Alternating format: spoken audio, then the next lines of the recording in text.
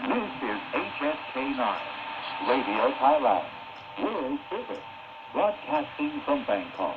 For listeners in Asia and the Pacific, the Middle East and Africa, Europe and America.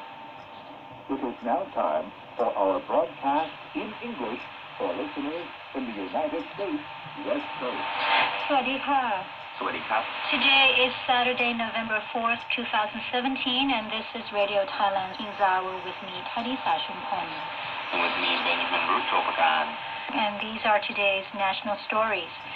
His Majesty King Maha Vajiralongkorn has instructed a Privy Councillor to deliver royally bestowed relief items to flood victims in Pathum Thani.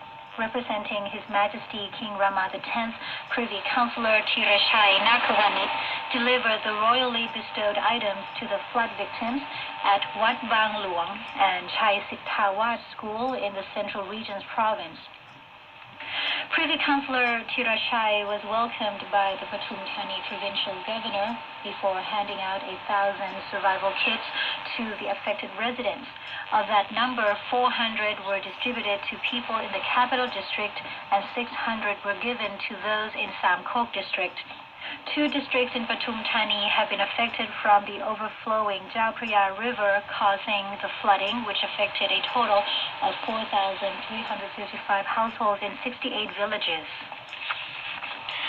The Prime Minister has convened a meeting with 15 governors from the South to discuss the overall water situation and flood prevention and mitigation plans.